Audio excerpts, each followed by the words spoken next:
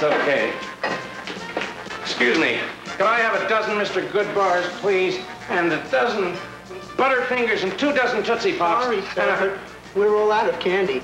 Out of candy? How can you be out of candy? Don't you realize there's a Halloween going on?